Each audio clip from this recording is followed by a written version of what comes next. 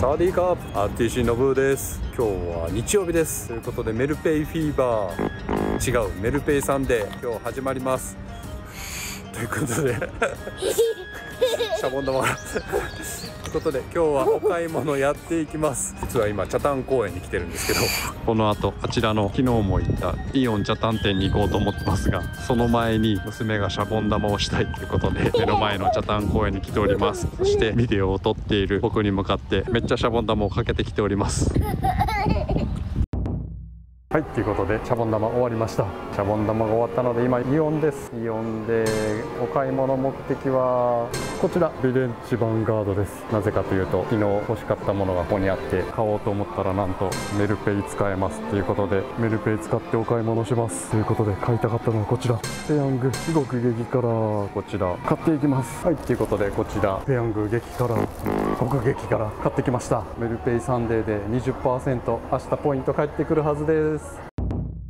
イオン北谷店の次はこちら。ザ・ビッグビッグエキスプレスなのかな本名。いつもザ・ビッグって呼んでますがこちらでお買い物します。第2日曜日ということで5%オフの日です。メルペイフィーバーの詳しい使い方とかの動画撮影させていただきましたが概要欄に URL 載せときますがそちらでも宣言した通り今日はビッグでいっぱい買います。当然ないですよね。当たり前ですね。っていうのもこちらダイソーですがマスク売れてます。ってめっちゃ書いてあるので一瞬在庫があるのかと思ったんですが先ほど見たようにありません。マスクでなくてザ・ビッグ入ります。はいということで大量購入です。詳細は後ほどその前にご飯食べに行きます。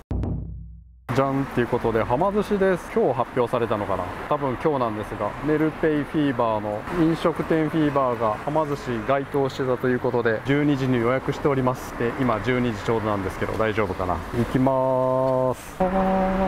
ここで入ってきました。回ってますが注文品しか回ってません。コロナ対策で全て注文です。ということで注文してます。娘はうどんとか納豆巻きそして新型コロナに効くという噂があった青さのお味噌汁です。ちなみにこちら会員に入っていれば無料です。ということでそこそこまあ普通に食べました。全然僕らこんなもんです。そして最後にデザート。いちごとミルクのレアチーズケーキ200円。会員でクーポン使って150円です。メルペイフィーバーレジで書いてます。はいということで美味しくいただきました。メルペイフィーバーで50%ポイント返ってくるはずです。美味しかったです。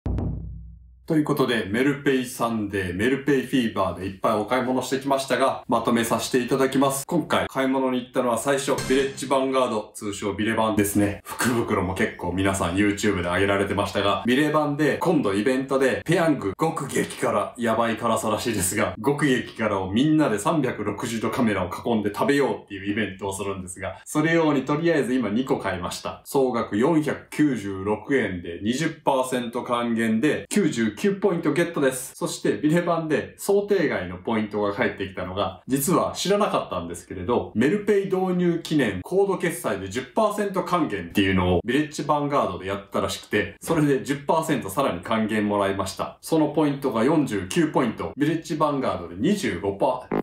ビレッジヴァンガードで30%の還元いただきました。実はこの買い物してからしばらく経ってから今最後のまとめ撮影しているので、そのビレッジヴァンガードの10%還元は終了してますが、メルペイ導入記念コード決済で10%還元っていうのは引き続き行われる可能性があるので、新しく導入されたお店はチェックかもしれません。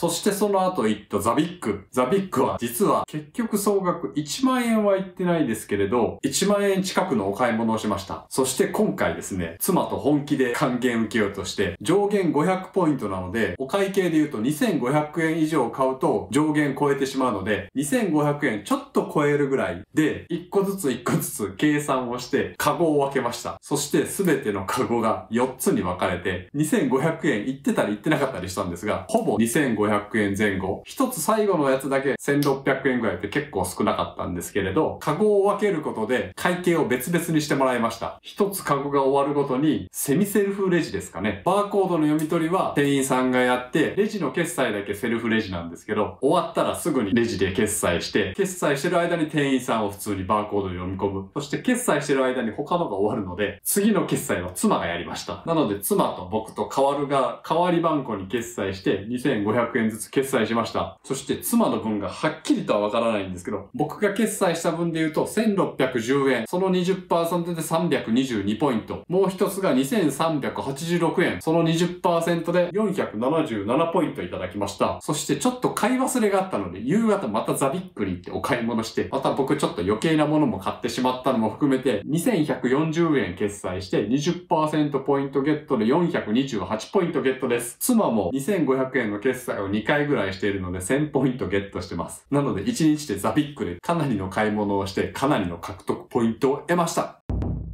そして最後、浜寿司ですけど、浜寿司に行って、総額2000円ぐらいだったんですね。子供1人と大人2人で、総額2000円ぐらいでした。そして会計の時に店員さんに、会計分けれますか？って聞いたら、大丈夫ですよって簡単に言ってくれたので、妻と割り勘状態にして、呼んだ時にはすでに、もし OK もらえたらっていうように準備をしていて、僕の方で100円皿、税込み110円皿を10皿、あと残りを妻の方に置いときました。なので、僕の方では、はま寿司で1100円決済して、こちらはメルペイフィーバーで50%還元なので、50%だと550ポイントですが、上限500ポイントゲットしました。ということで、今回メルペイフィーバー、メルペイサンデーで獲得した金額が、獲得したポイントが1826ポイントです。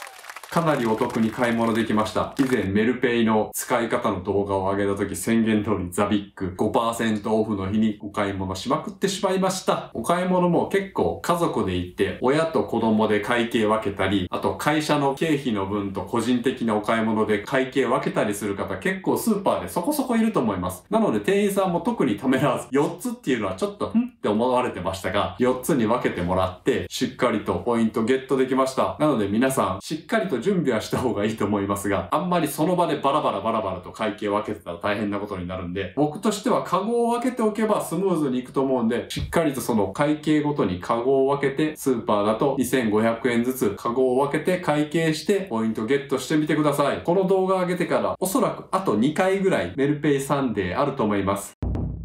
残念ながらイオンでお買い物する方、20日30日は日曜日に絡んでませんが、もしかしたら30日は絡むかもしれませんが、もしお得にちょっとでもポイントをそのお買い物で得たいのであれば2500円ずつカゴを分けて決済分けてもらってください。はま寿司も気軽に会計別々にしてくれたのでそこも皆さんポイントです。該当する飲食店すべてそうやってくれるかわかりませんが一回声かけていいですよって言ってくれるお店では分けて会計すればいいかと思います。ということでこちらの動画上げる頃にはもうすでにメルペイフィーバーの最後の街のお店でフィーバーもすでにどこで使えるか公表されてるかと思いますのでこの次の動画では街のお店フィーバー含めてどういったお店でどうやって使っていこうかっていうのを僕なりに考えてまたお伝えさせていただきたいと思いますのでご期待ください。ということでこちらの動画ではお得情報もお伝えさせていただいております。ただお得情報を伝えるだけではなく日々そのお得情報をどうやって使っていくのかっていうのを踏まえてお伝えさせていただいております。もしよかったらチャンネル登録、高評価ボタンよろしくお願いします。それでは今日もありがとうございました。サワディーカ。バイバーイ。